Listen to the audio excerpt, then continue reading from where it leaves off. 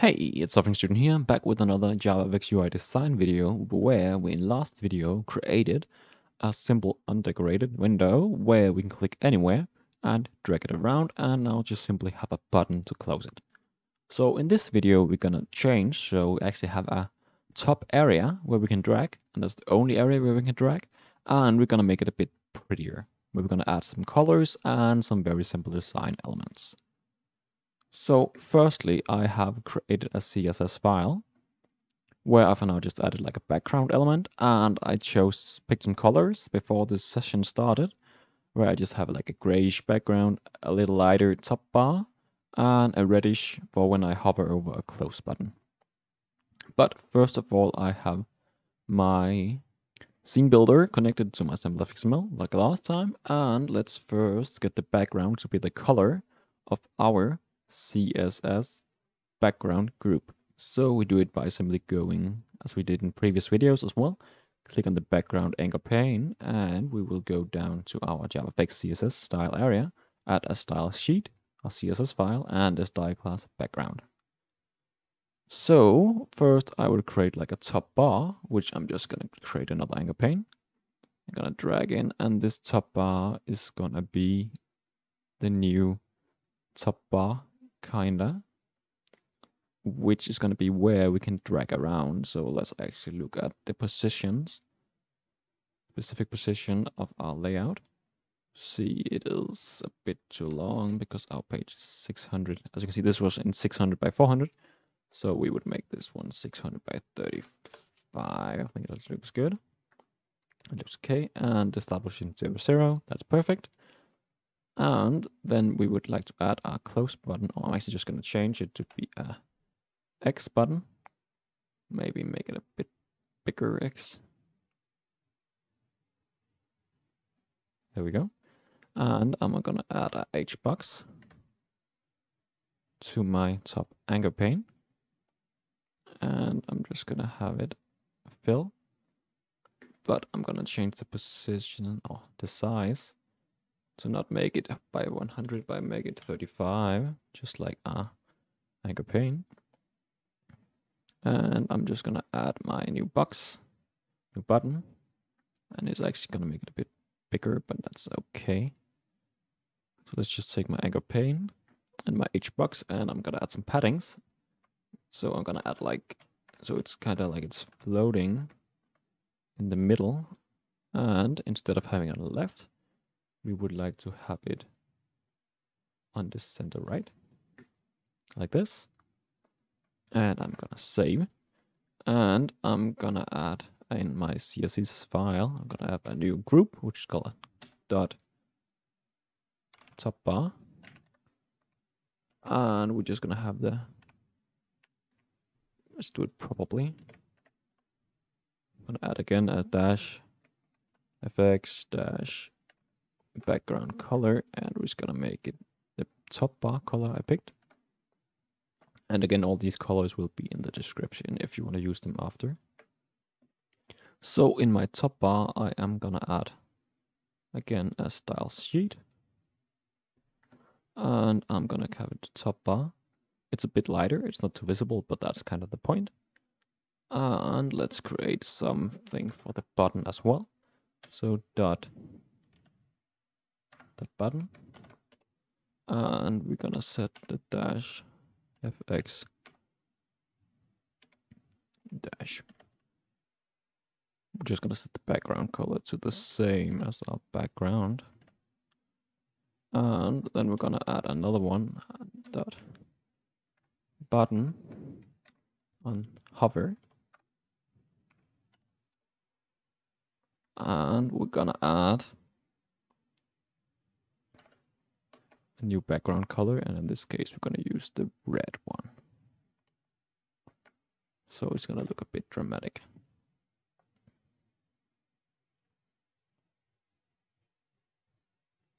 So that's what we have for now. Let's add the red to the color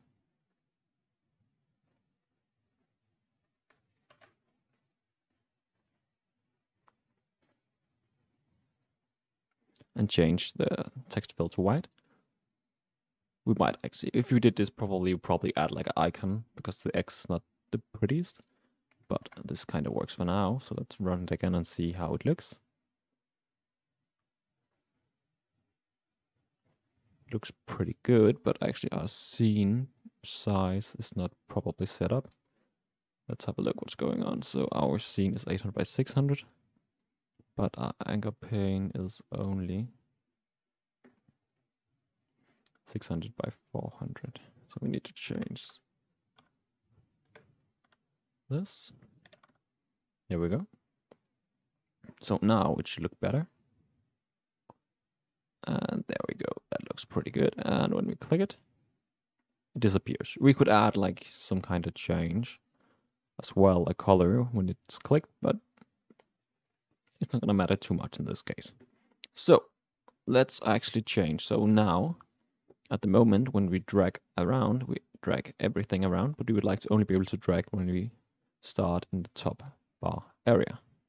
So we can do this by changing the way our on mouse pressed and on mouse dragged works because right now it's working by on the root but we would actually like to change it so it is on our this anchor pane. So we would give this anchor pane an ID and call it like top bar. Save and we're gonna pull our top bar ID into the controller. And what we would like to do is actually access our stage from our main class. And actually what I've been told in a comment from the last video is actually this is not the best way of doing it, which I didn't notice because right now we are setting the double x value to null and the y value to zero.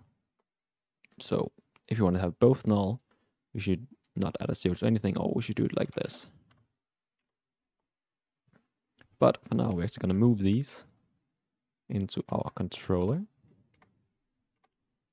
And we're just going to be using a static in this case. It's definitely not the best to use statics in general, but this is just a short example. So I'm just going to showcase the usability and you can change it if you need to. So what we do is we do a, a public static stage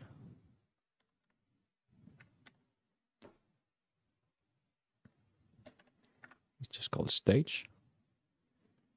And what we do is we would remove all of this functionality. But now just let's I'm just gonna clip it. And then I'm just gonna set my stage to be equal to my primary stage, which will allow me inside from this area I actually have my anchor pane and I am just going to be implementing initializable. And when I have an initializable, I will now instead of using a root, I will use my top bar, which will change that I'm able to drag it around on my top bar, but I still need to move my primary stage. But because I made it a static variable, or we probably might change it to a singleton, I'm not going to do it now, but you could. We would actually have to access our stage through our stage. So what we would do is we would do stage. Let's actually change the name. This is getting confusing. We're actually going to change the name to just do prime stage and prime stage. So now we should make a capital S. So now from our controller we would go go main dot prime stage and this is one we're going to use to set our stage change values so change the x and the y position values and what this now allows us to do is simply have a, where we can't drag if we click. I'm clicking here, but if I click in the top bar, I can now drag it around.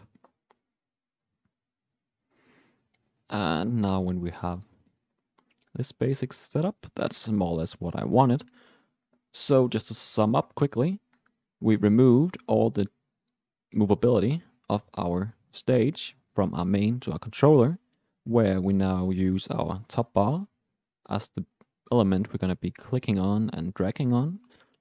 And we created a static stage value that takes the value of a primary stage and then passes it to our controller right here, where we can then can use it through our main because it is a static value, so it is accessed through the class.